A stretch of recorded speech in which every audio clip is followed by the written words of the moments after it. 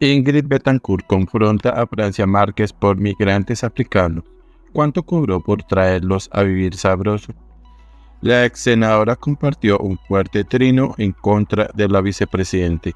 El flujo migratorio por el Aeropuerto Internacional del Dorado, ubicado en el occidente de Bogotá, se detectó desde octubre pasado, cinco meses después de que la Cancillería emitiera la resolución para retirar la visa de tránsito para las personas provenientes de 27 nacionalidades de África, Asia y Centroamérica. Igualmente la crisis que se vive actualmente en el terminal aéreo es cada vez más evidente, pues miles de ciudadanos africanos han llegado al país durante los últimos días en vuelos de Tourist Airlines.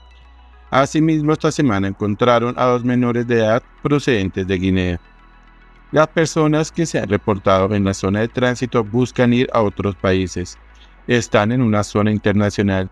Ninguno de ellos ha pasado control migratorio.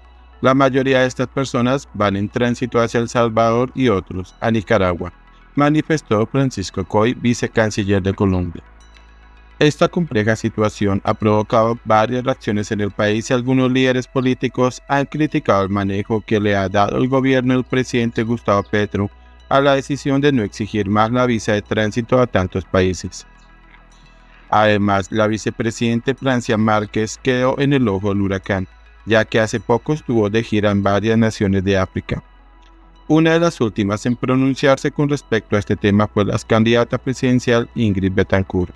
¿Cuánto cobró Francia Márquez por traerlos a vivir sabroso?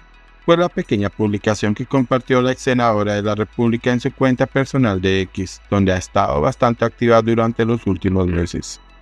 Wilson Ruiz, ex ministro de Justicia, fue otro de los que cuestionó severamente a la líder medioambiental por la respuesta que ha dado el gobierno nacional ante la llegada de migrantes africanos al aeropuerto El Dorado. Vicepresidente Francia Márquez, por favor interceda y atienda la crisis migratoria de africanos en el aeropuerto El Dorado. Del mismo modo en que se desplazó hasta ese continente, le solicitamos que lo haga hasta el aeropuerto que es más cerca y revise las motivaciones de estas personas para llegar así a nuestro país, sentenció el exfuncionario. El vicecanciller Coy, por su parte, negó la hipótesis que se ha sostenido desde la oposición que señala que esta coyuntura es producto del viaje hecho a África por la vicepresidenta y ministra de la Igualdad, Francia Márquez. Algunos de ellos ya han definido su proceso de viaje y otros no. El 80% de las personas que llegan en el vuelo de Tourist Airlines son de países africanos con la intención de pasar hacia el norte y no permanecer en Colombia, concluyó.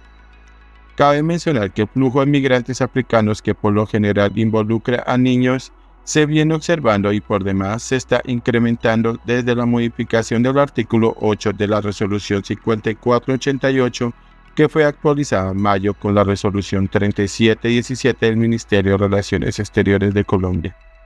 Con ello, esta nación abrió las puertas a los migrantes de paso sin que las autoridades estuvieran preparadas para atender al extranjero en tránsito y evitar así las graves circunstancias que ahora se estarían presentando en el aeropuerto El Dorado.